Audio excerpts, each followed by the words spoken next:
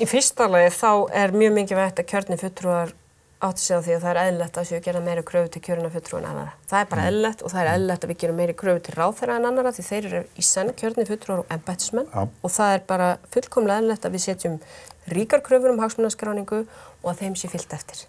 Og það í raun og veru að hafa þetta eins og þetta hefur verið að hver og einn metur það bara hvort að hann telji að þetta uppfylli hagsmunaskráningu eða ekki, það er ekki fullnægandi.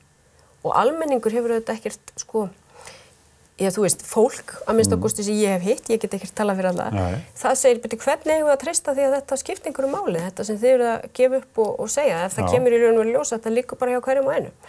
Þannig að til þess að byggja upp traust, þá þurfa að vera þessar ríkari kröfur á Já. kjörnafutrúa og ráðherra en það er umhugsunarefni að því þessi skjöl eru svona áþreifanlegu vittnisspurður um það sem við í raun og veru getum lesið um í rannsóknarskýrslu alþingis hvernig Já, peningar voru teknir út úr samfélaginu. ekkert bara stjórnmálamönnum.